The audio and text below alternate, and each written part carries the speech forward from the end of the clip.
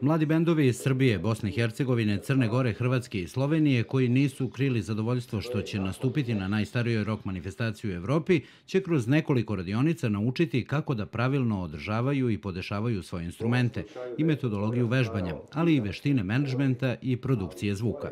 Došli smo ono da zainteresujemo da vidimo što je i sviđa mi se ono, dosta korisnih stvari smo naučili. Prvi festival za koji sam ja čuo da ima veze sa muzikom koju sviram.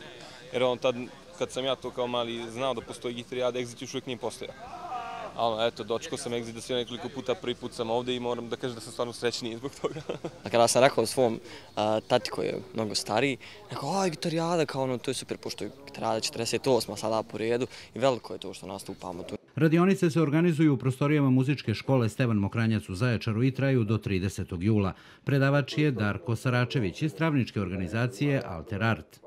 Ovo je treći dan akademije. Prvi dan smo podešavali e, gitare, drugi dan smo podešavali bubanj.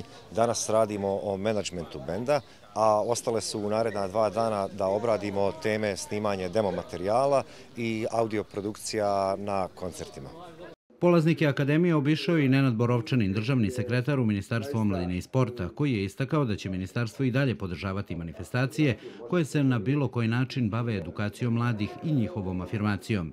Zato je jeste jako važno da smo mi danas ovde, da smo podržali e, taj projekat zajedno sa gradom Zaječarom i da ćemo tu saradnju nastaviti u budućnosti u daleko, nadam se, daleko većem obimu, ali isto tako da će e, neki od ovih bendova, ako ne i svi, postati poznati kao što su to bendovi koji će nastupiti na Zaječarskoj gitarijadi. Organizatori Rock Akademije su Ustanova gitarijada i Timočki omladinski centar uz podršku grada Zaječara.